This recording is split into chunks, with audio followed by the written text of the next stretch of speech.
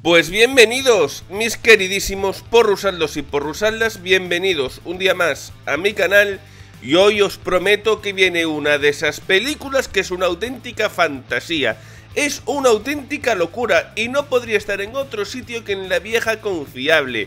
Por supuesto estoy hablando de la plataforma Netflix que estrenó el pasado día 1 de noviembre una película llamada Encierro.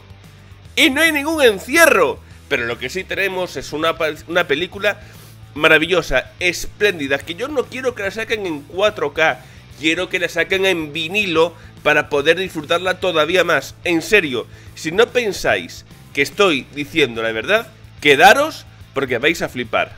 Así que antes de nada, que entre la intro.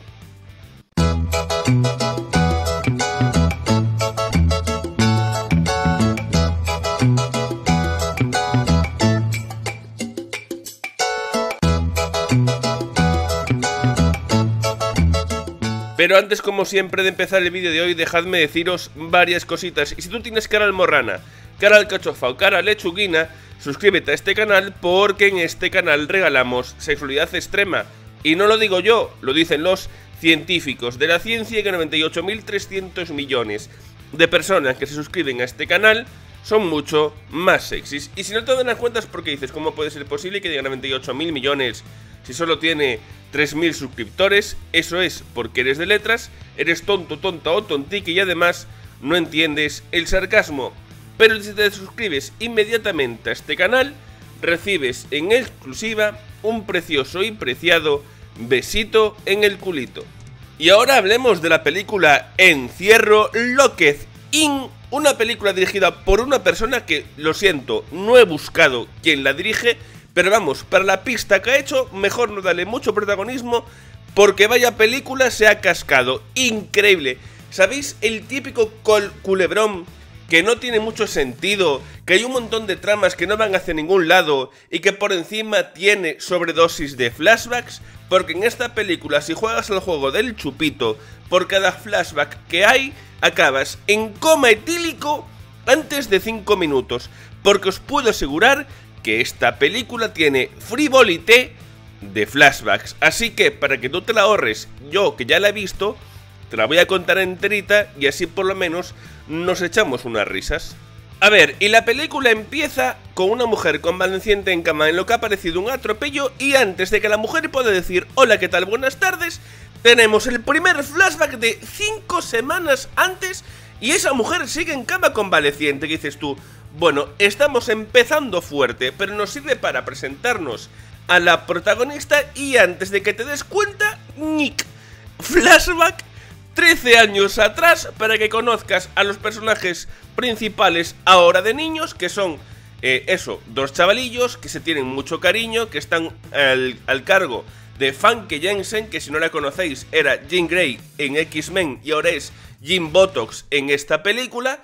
Y antes de que puedas decir qué está pasando de nuevo, Nick flashback tres años antes donde vemos a los protagonistas ya casados y siendo, vamos, adultos. Dices, madre mía, frivolité de flashback, pero ¿qué está pasando aquí?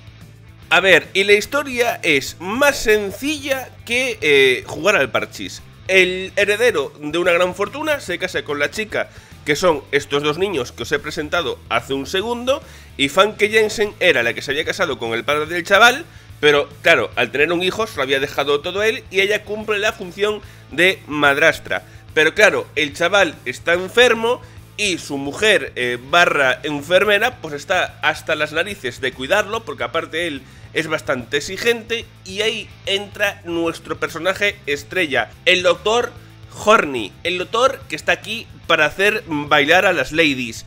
Aquí está, él hace que nuestra protagonista tenga las bragas en llamas. Y él está, vamos, con la pirula como el mástil de una bandera. Todo el rato están flirteando y evidentemente, pues, hacen el amore. Claro, nuestra adúltera protagonista encuentra el mejor sitio para echar un pinchito y es en un granero con toda la paja ahí, que no puede ser más incómodo, pero cogen y sueltan rienda la pasión en un polvo totalmente descafeinated. Pero no os preocupéis, esto todo nos lo han contado a que no sabéis con qué. con un flashback. Pues en otro flashback, dale a tu cuerpo alegría Macarena, resulta que nuestra adúltera protagonista y el Dr. Horny deciden que la mejor manera para pasar juntos toda su vida es matar al marido enfermo. Y que deciden dar un paseo en barca ya que este enfermo no sabe nadar ni sabe hacer nada en la vida salvo estar enfermo, entonces vuelca la barca y el doctor Horny, que es un puto psicópata, pues lo lleva al fondo y consigue ahogarlo entre múltiples sufrimientos del enfermo enfermísimo que no nos importa en absoluto y claro, tú dices, vale, esta es la típica película en la cual eh, unos personajes se convierten en asesinos y no tienen redención. Pues dale a tu cuerpo alegría Macarena de nuevo, porque resulta que el Dr. Horny ahora tiene una relación amorosa con Jim Botox. ¿Cómo? ¿Cómo ha pasado esto? ¿Pero desde cuándo? Pero no tiene ningún tipo de sentido. Pero da igual, aquí hemos venido al despiporre y te lo pasas muy guay. Bueno, pues ya en el flashback permanente con doble giro de tirabuzón, resulta que ahora Jim Botox y el Dr. Horny quieren matar a la adúltera protagonista. Y dices tú, ¿cómo hemos llegado ahí? Nadie lo sabe. Es tal viraje de guion que no entiendes qué están haciendo los personajes en este preciso momento. Y mientras el Dr. Horny tiene un tenedor clavado en la mano, Jim Botox y la adúltera protagonista empiezan a pelear con una escopeta de por medio. Y veréis que esto no tiene ningún sentido cuando de repente volvemos al presente para contarnos que la enfermera que ha escuchado toda esta historia ha llegado a la conclusión de que Jim Botox no quería matar a la protagonista, sino quería protegerla del doctor Horny. ¡Mamma mía! Esto es fumárselo en pipa como no he visto nunca en mi vida. ¿Pero qué me estás contando? Si antes de disparar al coche estaba apuntando a la adúltera protagonista, no quería salvarla, quería matarla. Pero bueno, ¿pero y esto? ¿Pero esto qué es? No tiene ningún sentido. Han escrito páginas de guion y se han olvidado de los personajes de lo que estaban pensando minutos antes. ¿Pero qué me estás contando? Pues resulta que ya en el presente, tanto la adúltera protagonista como el Dr. Horny se llevan a Jim Botox a casa para matarla. ¿Por qué? Porque son idiotas, porque pueden hacerlo en el hospital fácilmente, pero deciden que no, que mejor en casa. Y como ahora la protagonista sabe que Jim Botos no quería matarla, sino que quería cuidar de ella, sabe Dios por qué, cuando la estaba apuntando con una escopeta para dispararle, pues decide que es la mejor manera de arreglar las cosas matando al Dr. Horny que este ya era malo de por sí. ¿Perdón? Pues sí, lo mata con un cuchillazo y ya en el vigésimo quinto tirabuzón con 25 flashbacks anteriores que yo ya no sé ni quién soy, llega la enfermera Sherlock Holmes que lo ha deducido todo sin ningún tipo de motivo ni por qué, llega a la casa, la prota le dice, ¿qué vas a hacer ahora? Y dice, pues no sé, y yo tampoco sé qué quiere contarme esta película, pero acaba así. Y estaba aplaudiendo con las nalgas. La película despiporre del año es una locura, es una mamarrachada, es un culebrón pero me he reído como en pocas, como pocas veces he visto, la verdad. Y bueno, que esta película ya la tenéis en Netflix desde el pasado día 1 de noviembre, que está en tendencias. Yo he visto esta película porque está en tendencias. En número 2. Y la gente aplaudiendo con las orejas y yo con las nalgas. No puede ser para menos. La película más absurda, una de las películas que menos sentido tiene de lo que he visto yo a lo largo de este año.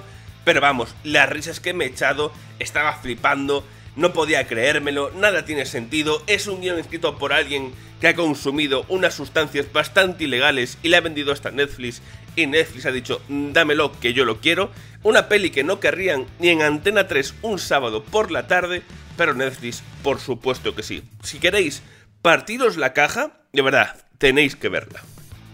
Pues hasta aquí el vídeo de hoy. Si os ha gustado dais un like, que yo lo vea, os suscribís por favor para llegar a alguna cifra en concreto.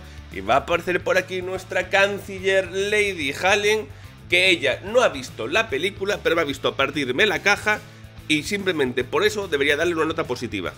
Pues un 8 en risas. Un 8 en risas, un 3 en coherencia. Así que no me enrollo mucho más, despide el vídeo como tú sabes. Siempre sexys, nunca insexys. Y nos vemos en el siguiente vídeo. Adiós.